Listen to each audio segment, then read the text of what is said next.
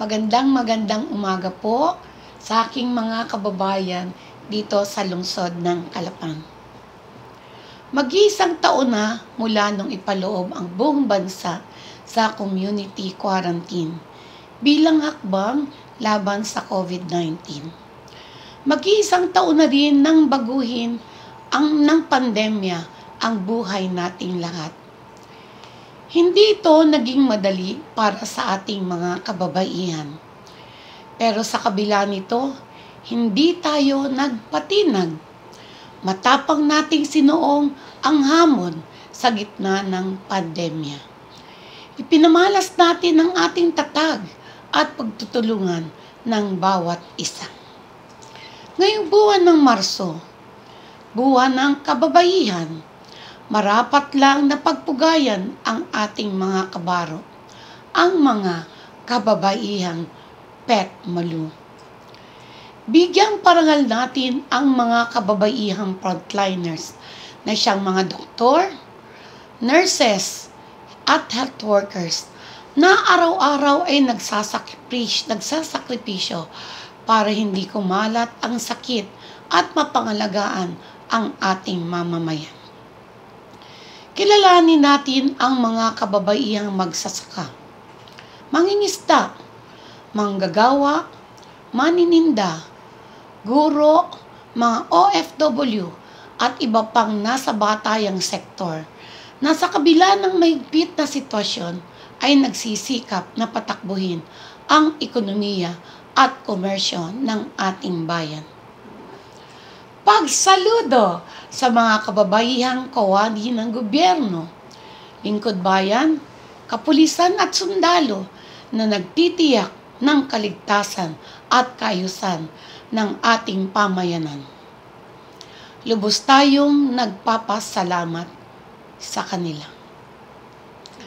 Ang tagal ko nang nakasama at kabahaginan ang mga kababayan natin dito sa Kalapang sa pag-ikot-ikot, may laking problema pa rin ang kabuhayan at trabaho para sa nakararami. Nakikita ko ang pangangailangan sa serbisyo. Marami ang walang potable water, walang sariling, sariling CR, mga taong walang pambili ng gamot kapag may sakit, ang mga PW natin na walang wheelchair at walang pagkakataon na makapaghanap buhay. Narinig ko ang inaing ng mga kasama sa transport sector na hirap na sa mahal ng prangkisa at ang ating mga magsasaka na nawasak ang mga pananim dahil sa kalamidad. Ang mga mangingisda na apektado ng paliit na paliit na lugar ng pangisdaan.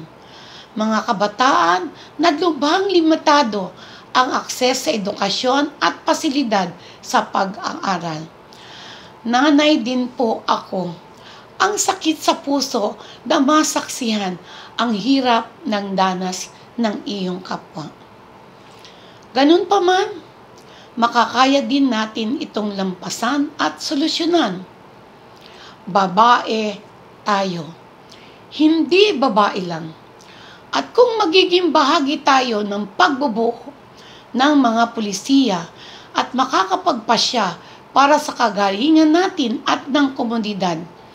Ang dalisay na pagkalinga at malasakit ay susi para sa mas maunlad, ngunit makatao at makabuluhang pamamalakad.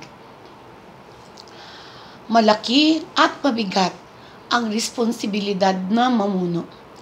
Magulo at masalimuot ang buhay politika pero kung ito ang mahusay na paraan para higit na makapaglingkod, handa kong harapin ang lahat para sa kapakanan ng mas nakararami.